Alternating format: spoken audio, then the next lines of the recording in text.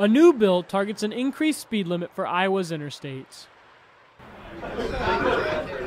State Senator Brad Zaun says many states have already chosen to raise their speed limits.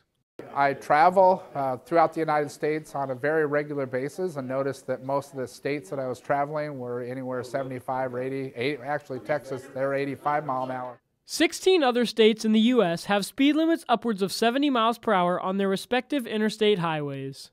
Native Iowan Josh Pagel sees promise in upping the speed limit. Overall, I think bumping that the speed limit up, especially in the rural areas, would only uh, be beneficial to all those on the road. But while an increase in the speed limit would help decrease travel times, Pete Helmstead from the Iowa Department of Transportation says that speed gaps could pose a problem. It would cause more of a differential between speeds out on the interstate. You might have a big gap in the speed people are driving, and that's when we have safety issues.